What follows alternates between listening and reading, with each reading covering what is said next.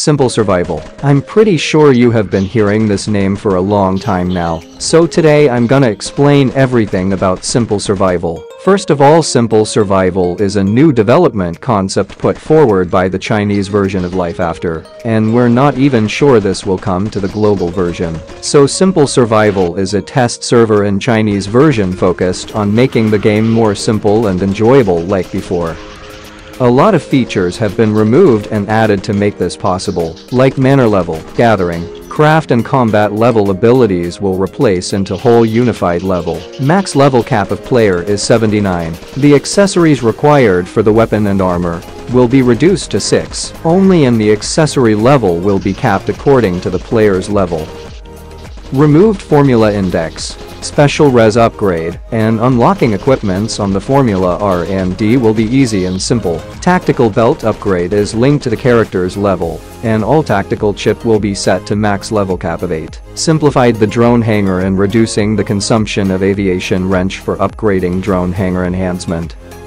Scheduled task will be now divided into four categories only, making the daily task much simple and less boring. Special operations, Federation operations, infrastructure systems, aerial ace, camp cascade rescue, knight's request, and treasure chest exploration will be subject to evaluation for adjustment or removal.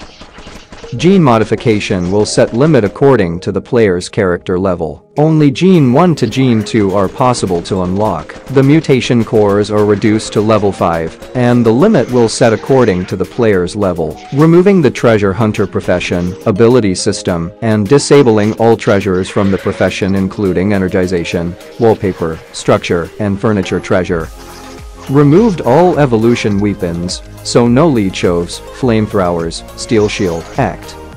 In PvP Gamma Play removed Charlestown Championship and will adjust various PvP modes. Added formula shards rewards on scheduled duty chest. Adjustment of the subsequent rewards of completing daily and weekly missions. Bringing back the old version of login music, camp music, which can be switched freely in the corresponding scene. Weapons such as light, heavy and melee are now merged into one set of accessory. Each type of weapon of your choice are now all balanced. So if you ran out of ammo in the middle of combat, you can switch to a melee weapon and still do the same damage which is awesome. Since evolution weapons are removed, it is now fun and easy to compete using available weapons that are based on your level.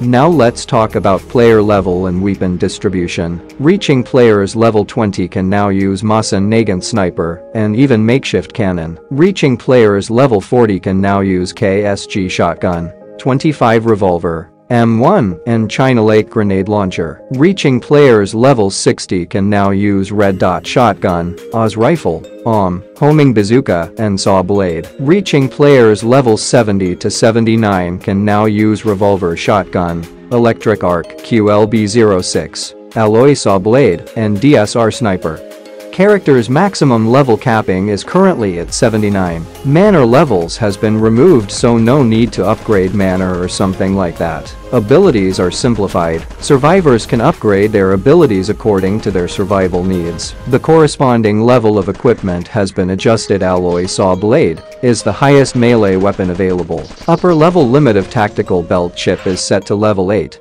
The tactical belt chip is linked to the player's level. So that's all the information about Simple Survival so far. I hope you understand what Simple Survival is and how it works. Thank you for watching, and please consider subscribing. It's free, and you can always change your mind.